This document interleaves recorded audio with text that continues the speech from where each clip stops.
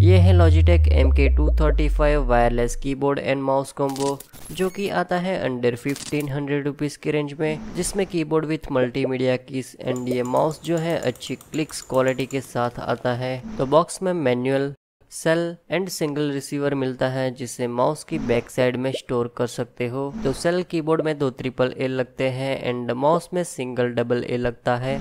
Mouse में on of switch available है, लेकिन कीबोर्ड में नहीं है। तो रिसीवर को कनेक्ट करते ही कीबोर्ड ऑटोमेटिकली ऑन हो जाएगा। लेकिन आपको कीबोर्ड में कहीं पे भी एलईडी इंडिकेशन नहीं मिलती है कि ये इंडिकेट कर सके कि ये ऑन है या ऑफ़ है। आपको की प्रेस करके ही चेक करना पड़ेगा।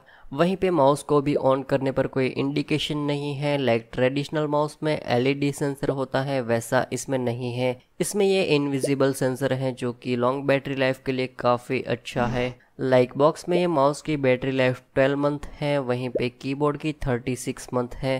तो इसे ईयर में कन्वर्ट करते हैं तो माउस में वन ईयर चलेगी एंड कीबोर्ड में थ्री ईयर चलेगी। तो ये काफ़ी इम्प्रेसिव है एंड ये थोड़ा बहुत बिलीवेबल भी है, क्योंकि इसमें कीबोर्ड में एलईडी लाइट्स नहीं है like num lock caps lock के लिए एंड माउस में भी एलईडी सेंसर नहीं है। अभी कॉम्बो में बिल्ड क्वालिटी देखे तो कीबोर्ड की बिल्ड क्वालिटी मुझे बिल्कुल भी पसंद नहीं आई। आप देख सकते हो ये आसानी से बैंड या फ्लैक्स हो रहा है एंड इसमें से ये वियर्ड नॉइस भी आ रही है। बाकी ये माउस की बिल्ड क्वालिटी तो अच्छी ही है। कीबोर्ड में सारी की स्लो प्रोफ़ाइल में है। की प्रेस भी काफ़ी अच्छा है एंड एक भी की लूज नहीं है। की शेप ऐसा है एंड अंदर ऐसा कुछ मेम्ब्रेन यूज़ किया है। टाइपिंग एंड साउंड टेस्ट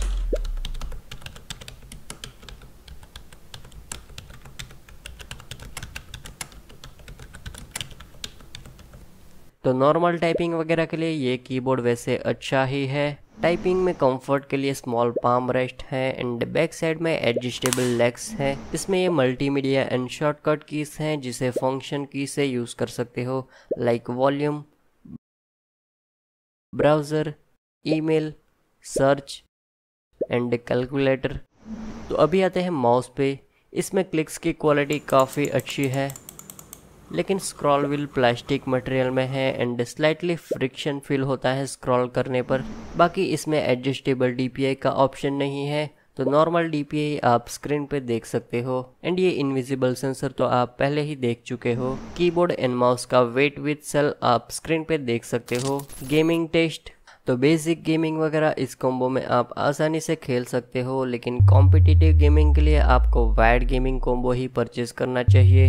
तो ओवरऑल इस कॉम्बो में पॉजिटिव पॉइंट्स ये हैं कि कीबोर्ड का की प्रेस काफ़ी अच्छा है एंड माउस का क्लिक्स भी अच्छा है एंड इसमें बैटरी लाइफ भी ऑब्वियसली दूसरे कॉम्बो से ज़्यादा ही होगी। बाकी नेगेटिव पॉइंट्स इसमें ये कीबोर्ड की बिल्ड क्वालिटी है।